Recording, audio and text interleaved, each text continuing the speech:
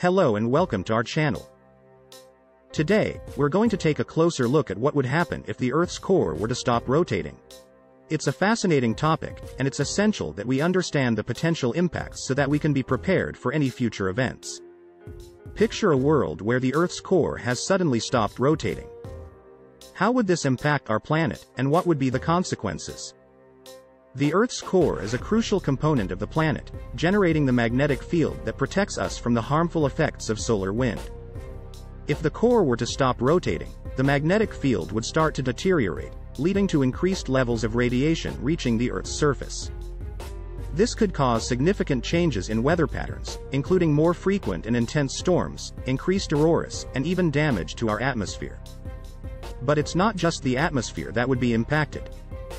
The cessation of the Earth's core rotation would also cause the planet's crust to shift, leading to widespread earthquakes and volcanic eruptions. The release of massive amounts of energy from these events would cause widespread destruction and loss of life. Cities would be leveled, and entire communities would be wiped out. The cessation of the Earth's core rotation would also cause the planet to start cooling. This cooling would cause the Earth's mantle to contract, leading to the formation of deep fissures and fault lines in the planet's crust.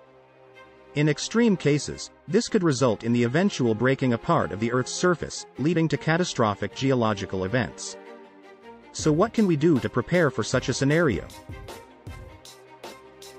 The first step is to continue studying the Earth's core and its processes.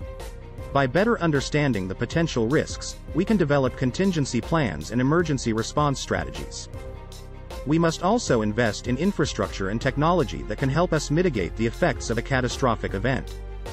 In conclusion, if the Earth's core were to stop rotating, the impacts would be catastrophic.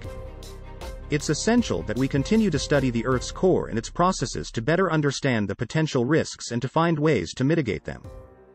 Thank you for watching. We hope that this video has given you a better understanding of what would happen if the Earth's core were to stop rotating. Don't forget to like, share, and subscribe for more fascinating content like this.